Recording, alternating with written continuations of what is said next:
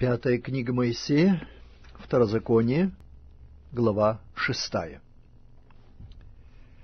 Вот заповеди, постановления и законы,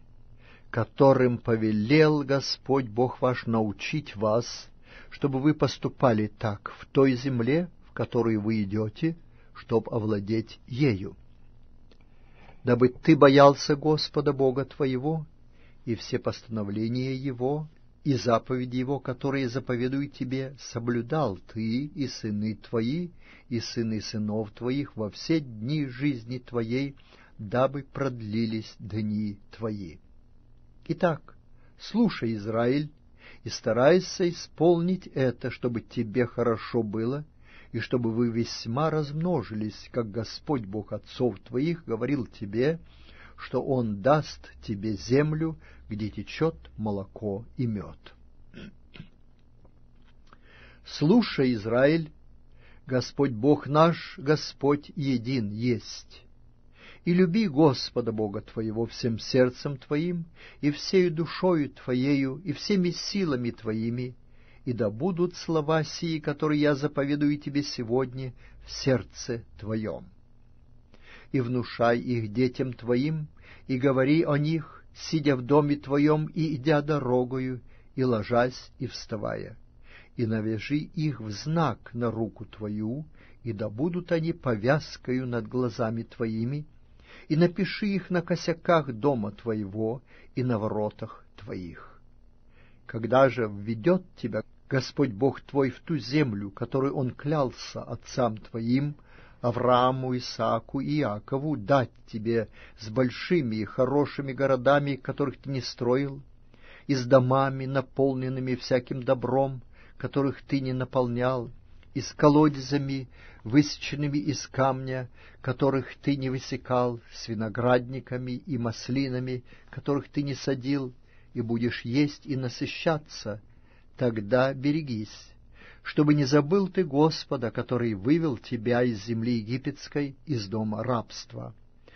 Господа, Бога твоего бойся, и Ему одному служи, и Ему, и Его именем клянись. Не последуй иным богам, богам тех народов, которые будут вокруг вас, ибо Господь Бог твой, который среди тебя, есть Бог-ревнитель, чтобы не воспламенился гнев Господа Бога твоего на тебя, и не истребил он тебя с лица земли. Не искушайте Господа Бога вашего, как вы искушали его в массе. Твердо храните заповеди Господа Бога вашего и уставы его и постановления, которые он заповедал тебе. И делай справедливое и доброе пред очами Господа, дабы хорошо тебе было, и дабы ты вошел и овладел добрую землею, которую Господь с клятвою обещал отцам твоим, и чтобы он прогнал всех врагов твоих от лица твоего, как говорил Господь. Если спросит у тебя сын твой в последующее время, говоря, что значит сии уставы, постановления и законы, которые заповедал вам Господь Бог ваш, то скажи сыну твоему, рабами были мы у фараона в Египте, но Господь вывел нас из Египта рукою крепкою, и явил Господь знамения и чудеса великие, и казни над Египтом, над фараоном и над всем домом его пред глазами нашими,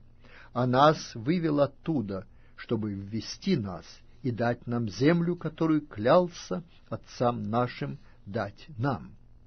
и заповедал нам Господь исполнять все постановления сии, чтобы мы боялись Господа Бога нашего, дабы хорошо было нам во все дни, дабы сохранить нашу жизнь, как и теперь. И всем будет наша праведность, если мы будем стараться исполнять все сии заповеди пред лицом Господа Бога нашего, как Он заповедал нам.